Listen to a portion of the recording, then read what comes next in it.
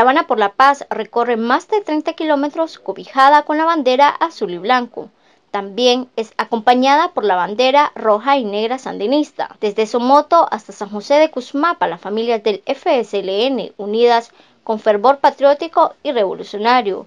Al unísono coreaba el comandante Daniel Sequeda. Yo creo que al sentir ese unánime,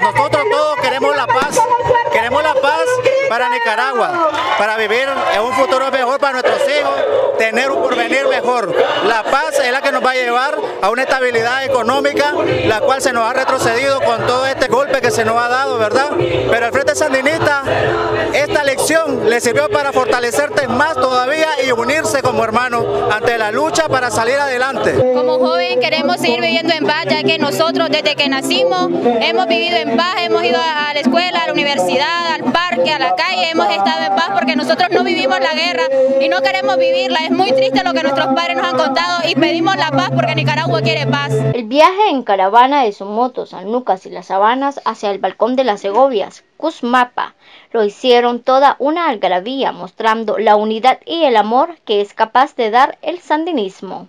Mientras tanto, el recibimiento con orgullo y felicidad lo hizo Cusmapa, con una tarde cultural y una oración al Creador por la paz, para que vuelva la estabilidad en la nación. Nuestro municipio se suma al respaldo de la revolución, al respaldo del comandante Daniel en este 39-19. Al comandante Daniel cuenta con, la, con el apoyo de la mayoría del pueblo de Nicaragua y Cusmapa, el balcón de la Segovia, dice presente a través de esta caravana que se hizo el día de hoy desde Somoto, finalizando aquí con esta tarde cultural.